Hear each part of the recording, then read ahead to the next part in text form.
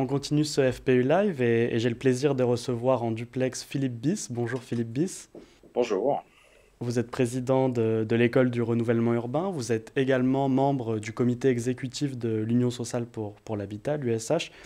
Vous allez intervenir particulièrement en tant que, que président de l'école du renouvellement urbain. Est-ce que vous pouvez nous expliquer rapidement ce qu'est cette école? Alors l'école du, renouvellement urbain est, est, une école finalement peu connue euh, qui a été créée il y a maintenant une bonne quinzaine d'années au moment du, lancement du, premier euh, programme national de rénovation urbaine. C'est une école qui, est à Aubervilliers euh, pour l'instant, qui est composée d'une petite équipe de, cinq personnes avec Chantal Talent qui en est la, directrice depuis, depuis le départ. Et c'est une école qui a formé tous les acteurs du renouvellement urbain, qu'il s'agisse des collaborateurs de l'ANRU, évidemment, des collaborateurs euh, de, l'État, de l'Agence nationale de, cohésion des, territoires, ou encore euh, les habitants, et plus récemment les, élus, puisque notre école a un agrément pour la formation des élus. Le renouvellement urbain, puisque c'est de, de ça qu'on va parler euh, aujourd'hui, il n'était pas directement concerné par, par le plan France Relance. Ça a été pointé du doigt par certains, cette absence. Mais au début de l'année, il y a une enveloppe supplémentaire de, 2 milliards d'euros qui a été débloquée euh, pour le nouveau programme national de renouvellement urbain, le NPNRU, qui passe à l'initial, à son lancement de 5 milliards d'euros à aujourd'hui 12 milliards d'euros. Qu'est-ce que ça change au final qui soit plus que doublé? Oui, évidemment, euh, on retrouve là des niveaux d'investissement à peu près équivalents à ceux du premier programme national de, rénovation urbaine. Et donc, euh, ces, 2 milliards d'euros, dont je rappellerai qu'ils sont amenés principalement par Action Logement et euh, par, les, bailleurs sociaux, va permettre d'amplifier l'effort pour les programmes qui étaient déjà validés par, par l'ANRU et également de, valider un certain nombre de programmes qui étaient encore en attente au niveau de, de l'ANRU. Donc c'est évidemment quelque chose qui était très attendu il n'y a pas de raison que l'ANRU, que la rénovation urbaine ne bénéficie pas, elle aussi, euh, d'une partie d'un plan de relance qui est, qui est aujourd'hui attendu par l'ensemble des acteurs. Alors on entendait justement que, que ce NPNRU, au moins jusqu'à l'année dernière, avait, des mal, avait du mal à, commencer. Le lancement était difficile, peu de, peu de, chantiers engagés, ou en tout cas un niveau pas satisfaisant. Où est-ce qu'on en est aujourd'hui? Est-ce que cette enveloppe complémentaire, même si vous avez déjà commencé à répondre à la question, va permettre d'engager des nouveaux chantiers? Oui, évidemment, euh, cette, enveloppe, euh, même si elle ne va pas être dépensée immédiatement, elle a un effet euh, dynamique, je dirais, qui complétera utilement la, reprise progressive d'activité, puisque à la fois la pandémie, mais également les, provoquer un, coup d'arrêt relativement normal à ces opérations.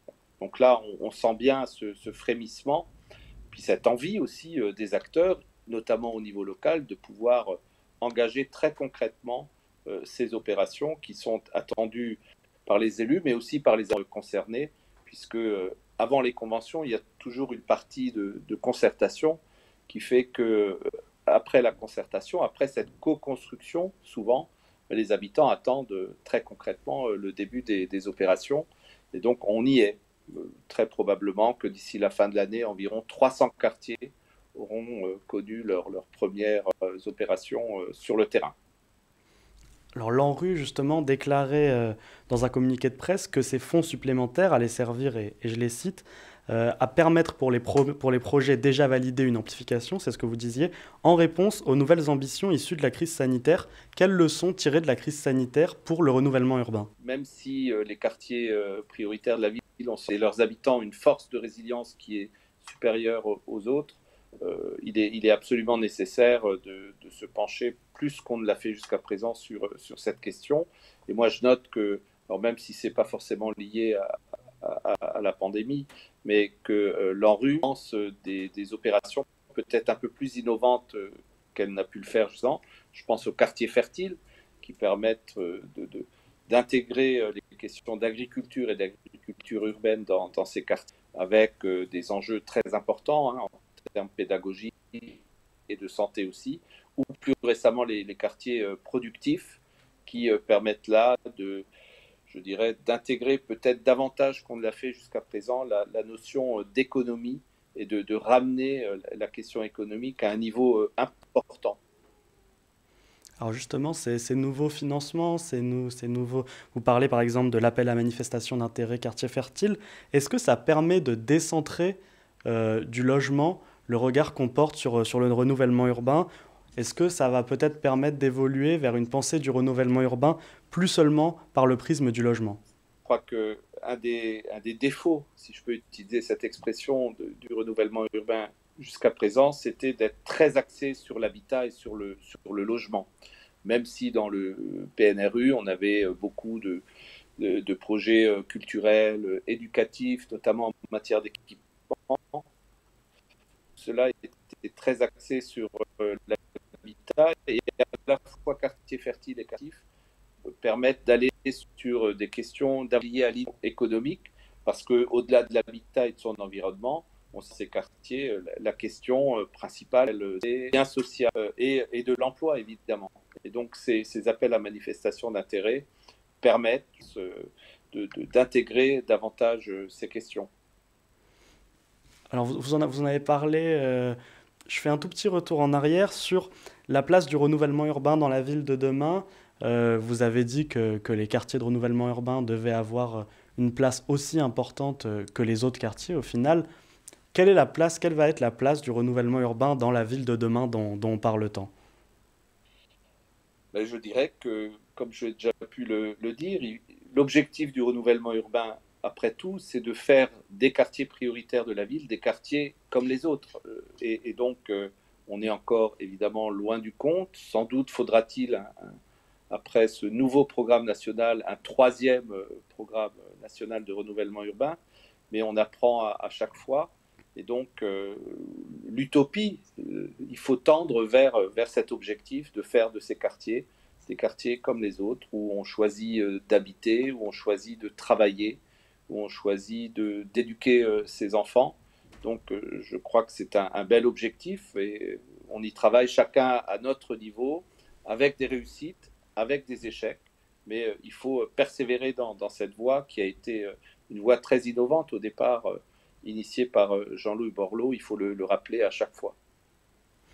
Est-ce que, euh, pour revenir un petit peu sur le plan de relance, les crédits euh, fléchés vers, euh, vers la rénovation énergétique des logements, qui impactera de manière indirecte le renouvellement urbain, pourraient changer l'équilibre qu'il y a dans le renouvellement urbain entre les opérations de, démolition-reconstruction et les opérations de réhabilitation ou rénovation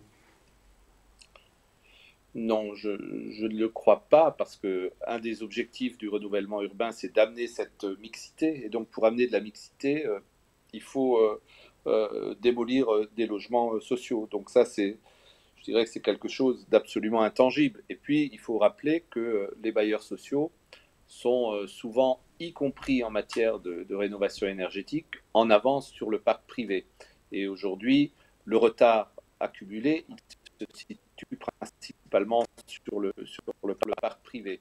Euh, je ne pense pas que ça puisse impacter de manière sensible, en tout cas, les programmes de, rénovation urbaine. Sur les logements sociaux, justement, peut-être un mot sur la volonté affichée du gouvernement de limiter le nombre de logements sociaux dans les villes euh, déjà pourvues de plus de, 40% de logements sociaux? Ah, ça, c'est une question euh, qui, est assez récurrente. Moi, je suis plutôt d'accord avec, avec cet objectif. Euh, mais euh, je suis un, partisan, euh, pas écouté pour l'instant, d'essayer de, regarder la part de logements sociaux plutôt sur les bassins de vie, sur les métropoles, sur les agglomérations, plutôt que par commune.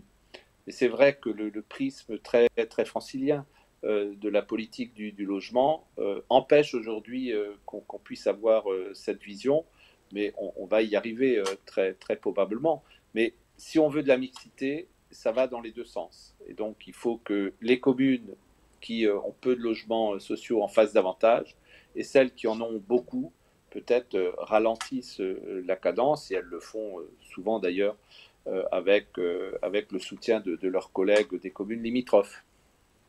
Alors on a parlé des évolutions à venir, en tout cas des évolutions qu'on peut imaginer pour le renouvellement urbain. Quelle va être la place de l'école du renouvellement urbain dans ces évolutions? Quelle place prendre pour l'école du renouvellement urbain? Alors, euh, l'école du, renouvellement urbain, ces formations, elle les prévoit avec euh, ceux qui, la financent, euh, l'ANRU, l'Agence nationale de cohésion des, territoires, l'USH, évidemment, et la Banque des, territoires. Et donc, nous, on essaye de, s'adapter aussi à l'évolution des, programmes de l'ANRU. Par exemple, on a parlé à plusieurs reprises des, quartiers productifs. L'école du renouvellement urbain formera les, chefs de projet qui euh, s'occuperont de, ces euh, quartiers euh, productifs. Donc voilà, c'est une évolution constante. On, forme, on perfectionne aussi celles et ceux qui sont déjà des acteurs, y compris chevronnés du renouvellement urbain. Et je ne l'ai pas dit, mais cette école a comme particularité d'avoir des formateurs qui sont des professionnels. Donc beaucoup d'urbanistes, pardon, de, de sociologues qui travaillent au quotidien sur ces questions de renouvellement urbain et donc qui amènent leur, expertise dans, dans, un échange qui est toujours euh, très fructueux, quelles que soient les euh, personnes que nous formons. Peut-être un dernier mot, ce sera le mot de la fin, sur euh, cette nouveauté qui est la formation des élus. On sait que vous-même avez été, avez été député. Vous avez porté cette volonté de, de former les élus? Oui, je crois que c'est très important que les opérations de, de rénovation urbaine sont des opérations complexes, à la fois dans leurs enjeux, mais également dans, les orientations à, valider.